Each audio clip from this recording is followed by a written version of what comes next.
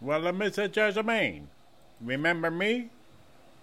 I'm Lou the Lip, and I'm going to do this attack, that's for you. That's for you. You have asked us five questions. So I've done to answer them to the best of my, but I don't just I'm going to answer them. What is harder, forgiveness or forget, and why? I never forget. I never ever forget, cause I got a couple clowns, actually more than a couple, and I will never forget them. So why should I forgive those clowns? I know forgive. So which is harder? Forgiving. Especially when you're mad at a couple clowns. Number two, do you believe everything that happens for a reason? Of course, everything happens for a reason. These clowns are saying I do the things I know I do. So that, so to them, they got a reason to be angry or whatever at me. But I did do nothing. I do nothing. But they say I did. So they are lying.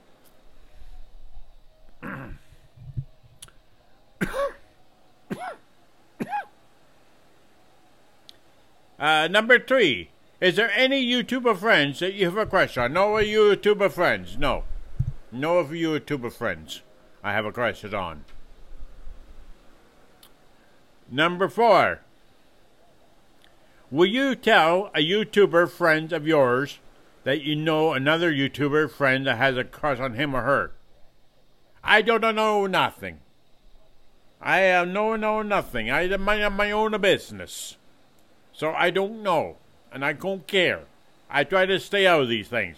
I do not want to be the middleman. Not a one a bit.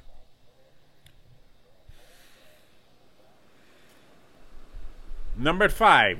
What will you do after knowing your numbers came up in the lottery? Well, that's a funny thing. Because you might not have any friends before you win the lotteries, but somehow after you win the lotteries, they all come out of the woodwork. In other words, in other words, that you get lots of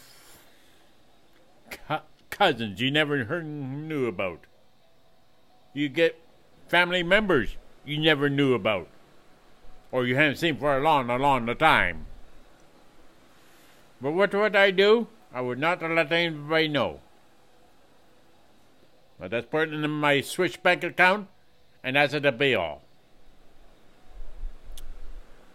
But if I did win the lottery, probably these clowns would know about it somehow. But that's all they are. They're just the clowns. That's all they are. So, I would if if they respond to this video, or they do your tag too, don't listen to them. They does nothing but clowns. That's all they are. They don't make no sense. And if you want to know why I did the tag today, because the biggest dork on YouTube is not around. So this is why I do the tag for him. I tell you, we see each other again. You and I will see each other once again. And who knows, maybe I would uh, answer another tag. You never know. Until the next time, you take care, Mr. Jasmine.